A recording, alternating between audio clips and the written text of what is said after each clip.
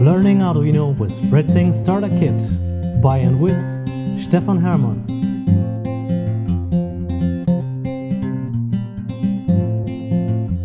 Today we want to talk about breadboard prototyping and we will build the circuit which I call flip-flop. Okay, um, let's change to the Fritzing software to explain what's going on if we take a look here into our first example, then we simply placed an LED on this digital pin 13. That was quite easy because we could just attach the LED to the Arduino board. But usually we can't place an LED directly into a pins of the Arduino because each pin supports 5 volt if we set a pin to high then it means that here are 5 volts on there. And an LED can't deal 5 volts it only runs from 2 to 3 volts or something in that way. But on the pin 13 there is a built-in resistor which protects the LED so if we would like to run an LED on a different channel then we would need a resistor but unfortunately it's not so handy to have an LED here.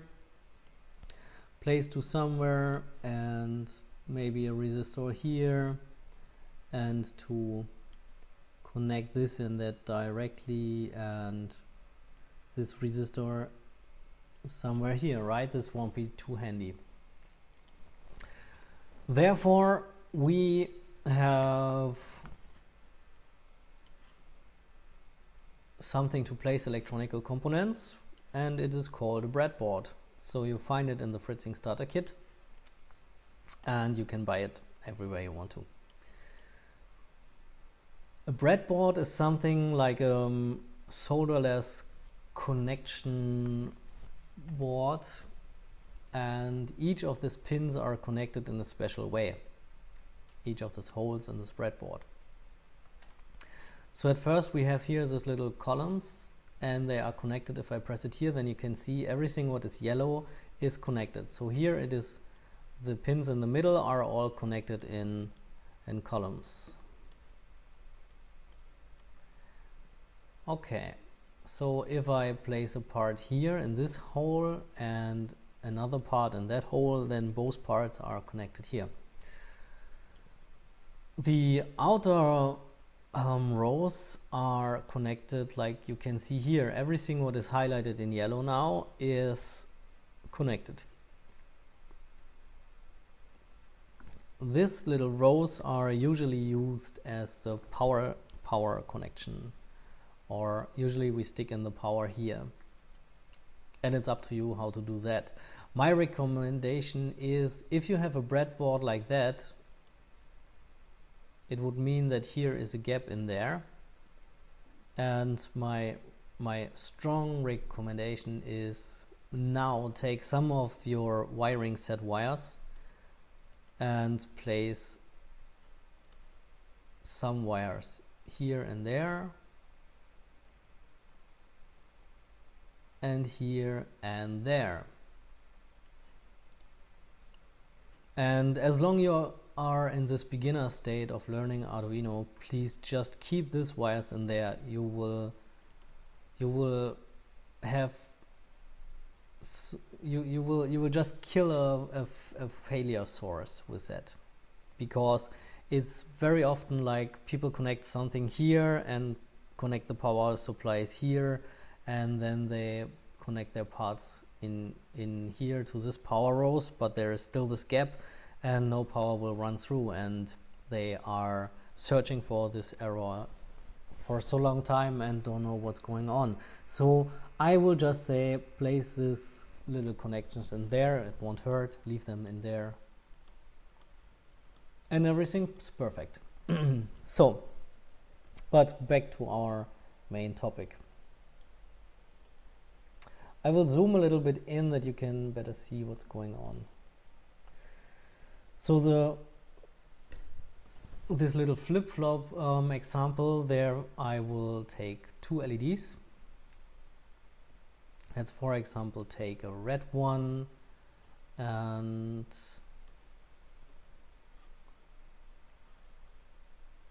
maybe a yellow one right? Or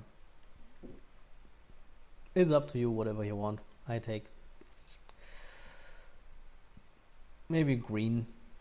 Okay so again we have the long leg what will be the plus and we have the short leg what will be the ground. So on the Arduino board here is the ground pin. I connect this to my Arduino and I will change the color that you can simply see what happens here or I can just drag everything over there so black always means ground if I'm drawing something. Therefore I maybe can change this here too. It's on a breadboard unfortunately not so easy. Now I can connect each ground of the LEDs to this ground signal. So this here and this there. So every LED now is uh, supplied by this ground. So if I in if I click this wire then everything what's highlighted is connected and now I said that it is needed to place a resistor to this LED therefore I use a resistor each resistor um, has his own value. This one is, for example, 220 ohms. All the time you have 5 volt and you would like to place a resistor for a standard LED, just take 220 ohms and it will work perfect. There is a way to calculate all the resistances you need, but um, as long as it's so easy, you can just grab this 220 ohm resistor and it will work fine for you. And I place it here to this LED or maybe I make a little bit more space for that LED that you can better see what's going on here the power now goes to this plus and through this resistor right? So both parts here are connected on that long leg of the LED and the other side of the resistor I will attach it to the digital pin 11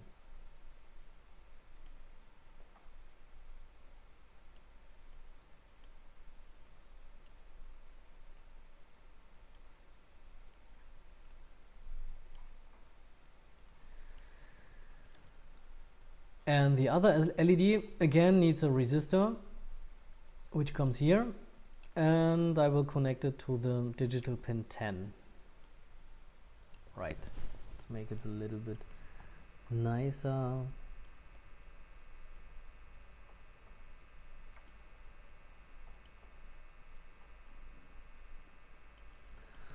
All right. So let's go to the schematics so this drawing is called the schematics and engineers and are, are using this to read circuits and I'm sure you maybe remember when you were at school then this is how electronics is taught. And it often makes things much clearer so I will just show you what is how what is going on. So it's easy for us to see so here we have our circuit both LEDs are connected to the ground over that wire, that connection. And each LED has got a resistor before the digital pin comes. So, and this resistor is protecting the LED from a too high current. Yeah, and that's actually all, quite easy. And here this could be the code, for example. So we have a little, or we have two variables, LED pin 1 and LED pin 2. LED pin 1 is 10 and LED pin 2 is 11. And we have to tell Arduino that we have this both pins, which are um, both outputs. And here we have our loop, which says, which is actually like the blink, but the the first time the first LED blinks and the second not, and then the second the first LED is not not lighten up, but the second is. So it's a flip flop, isn't it? okay. So let's see how it looks in the real world. Therefore, I will rebuild this original circuit. So here we have our breadboard and I took out this LED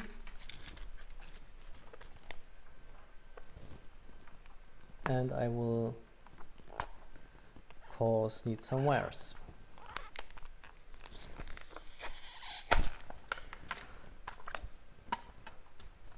so they are shipped with the starter kit too mm, right. So hope you can see that. Now I take, as I said, the wires to bridge these connections. They are not so needed by now, but again, it's I, I just recommend that you just prepare your breadboard like that and close this gap. It's only the one gap in the middle, so everything else, everywhere else will be connected. So here is a connection and here and here and here. Uh, only here where this W is, there is no connection. There are other types of breadboards which don't have this gap, but here it is on. So now I have my first LED, the red one, and I place it like I showed you on fritzing here.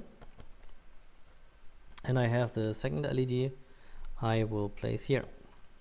Now I need some resistors and here I have to take a look this is red red brown means um, that this is 220 ohms in the starter kit you can even find a drawing how you can see what a resistor is or what value the resistor has so here I have these two resistors I will need 220 ohms and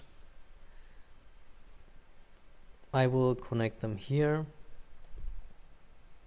and there. That's maybe a little bit hard to see, right? And oh, I saw. I think it was a green one, wasn't it?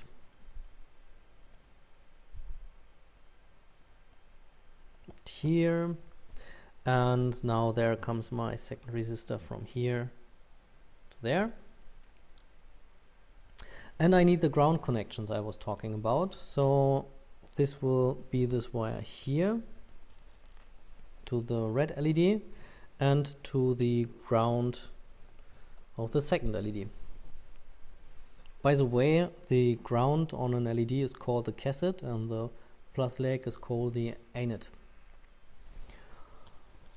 Alright, so now I need the connections to my Arduino board. And the one was the ground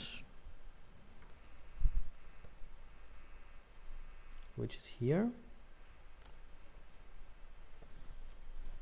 And now I said it's number 10 and number 11 okay I'm done so far. What I need now is the programming code.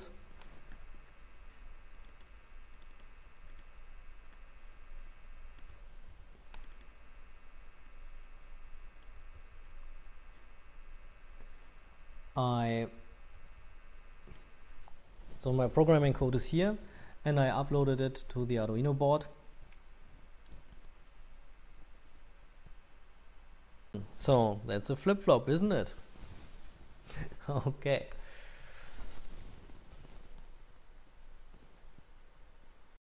This episode was brought to you by fritzing.org, the free and open software for project documentation, sharing and PCB layout creation. Check out our PCB fabrication service Fritzing Fab. With the purchase of Fritzing products, you actively support the development of the Fritzing software. For more Arduino related questions, go to arduino.cc slash forum. Thanks for watching.